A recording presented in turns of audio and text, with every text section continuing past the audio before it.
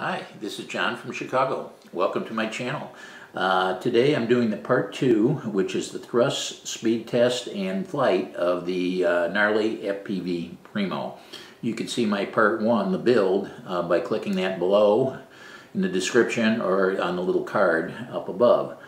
Uh, this is a upcoming uh, class of quad that's super lightweight. It's Sometimes they call these the ultralight or the hyperlight or the toothpick uh, frame that Kabab brought out.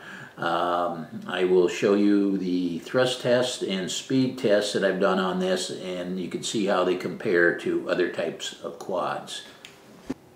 Primo 65 millimeter propellers 2S 112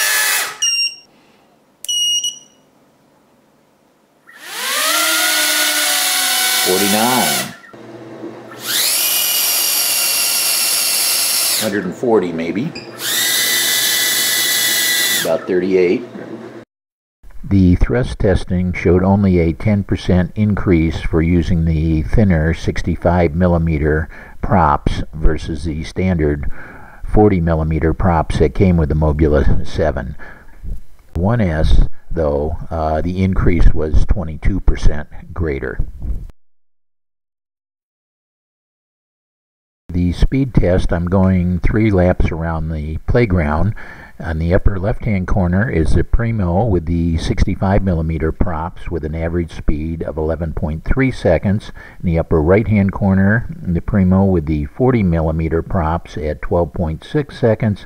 And in the bottom, I have the Mobula 7 with an average lap time of 13 seconds which is 15% slower than the Primo with the 65 millimeter props.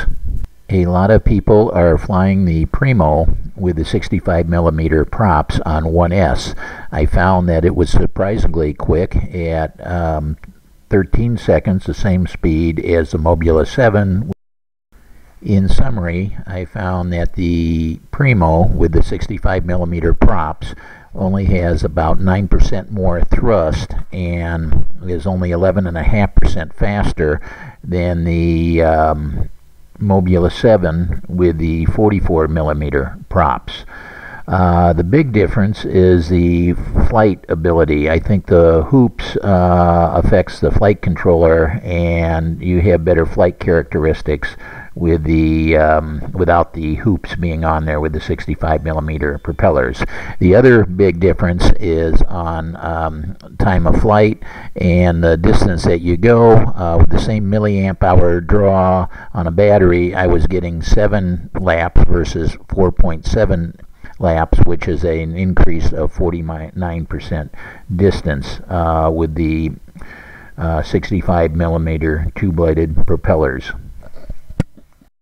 So for pros, uh, you get a, a, small increase in thrust and speed and a major increase in efficiency that gives you longer flight times and distances.